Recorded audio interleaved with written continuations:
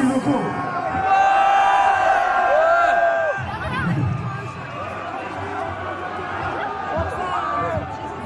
You guys want to sing along to this one? This is a song that Myles and I wrote when we first got together. So if you want to try to sing, see the play, sing.